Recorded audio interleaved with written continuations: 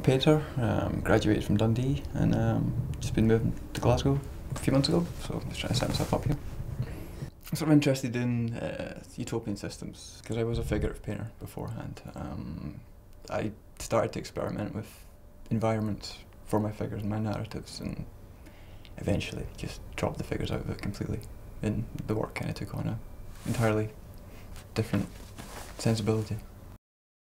So, are there any artists or writers that have been particularly influential? Um, writers, um, the philosopher John Gray, particularly, he's um, sort of skeptic um, in this thought, uh, sort of post Enlightenment thinker.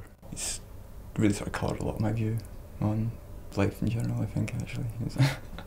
I have ideas about where I want to take the work, and, but it's all, you know, quite firmly in the future, you know. Um, it's going to take me a long time to be competent enough, I think, to, to, to control what I want to do to the level that I want to get to, you know.